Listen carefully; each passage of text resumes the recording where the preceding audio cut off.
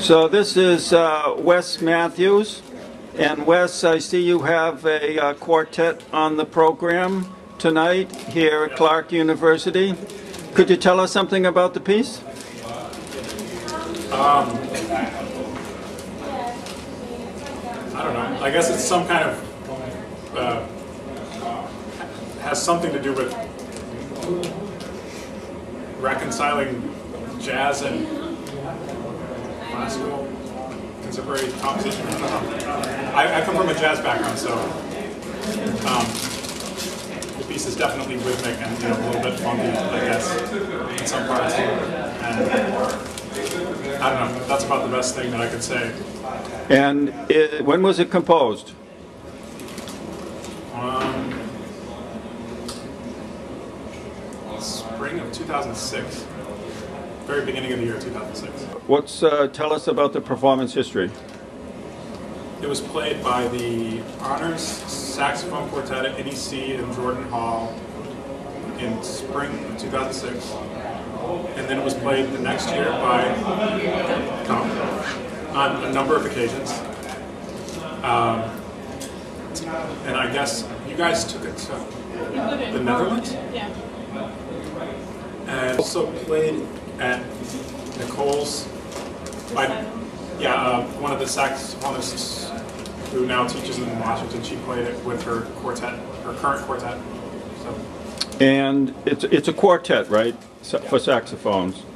And you say it reconciles classical with uh, classical music with jazz music. no, I mean I'm just no. I guess I was trying to not maybe reconcile is not the best word.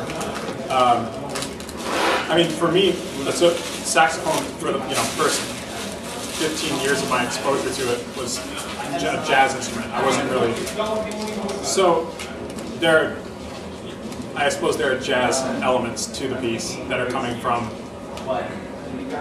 my jazz background, and it is some kind of. I, I suppose I could say in retrospect, you know, it's a it's an attempt at a reconciliation for me of my own background. But, you know, I'm I- I mean- definitely. I'm not saying it's reconciling the jazz. Jazz. You know. Is it in so- is it in sonata form? No, no, no. Pretty close though. No, yeah, it's more like rondo. I I don't know. No, I don't know. So it's a classical form with jazz motifs. I'm definitely not using. I, I was not using a, a form, a pre-defined form. No, but it, it does actually have a fairly clear formal structure. Hey, Where are you from, Wes? I am from the soybean capital of the world. Top 10, Russia's top, t- we're, we were on the top 10 news list for Russia. There were going to be a nuclear war. Where is I'm just going to put that out there because no one's heard of Decatur. Decatur, Illinois. Yeah, 85,000 people, but we're a big deal. Archer Daniels Midland, which is one of the biggest agricultural industries in the world, is based there. So for some people, I suppose, you know, the owners of that would be famous. Uh, there's a pretty famous smooth jazz artist who went to my high school who, I, I don't know. Where are you uh, residing now? I'm living in Brooklyn. I've heard some of your piano work. Do you consider yourself a uh, piano performer first and then composer, or what? Do they both go uh, together? I think probably composer first, Uh huh. but if it's an improvisation setting, I mean, I, it, it's almost exclusively piano. I haven't really composed for any of the avant-garde ensembles that I've played with as an improviser. So I don't know. In certain settings, it, I'm only a pianist. You know, I don't have any composure. Who's the musician that moves you most? You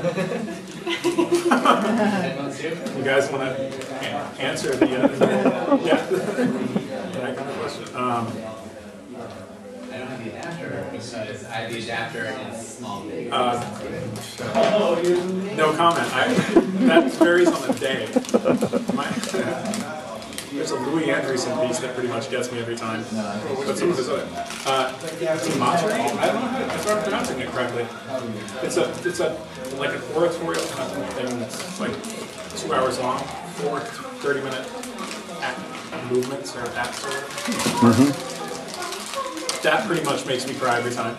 I haven't listened to it for probably a year though, so Tell us the name of it again. I'm gonna spell it for you because I, I don't know if I'm pronouncing it correctly. It's D E and then M A T E R I E. So I'm assuming it's like Dimitri. good. That's as good a guess as mine. That's as good as And, and who composed it? Louis Andriessen. Andriessen. Andriessen. Andriessen. Andreessen. Yeah, he's Dutch. But that's just one piece, you know. Like I said, I don't. No problem. I think that's pretty. That's a rough question for any musician to answer. Hey, thanks for being a good sport, Wes.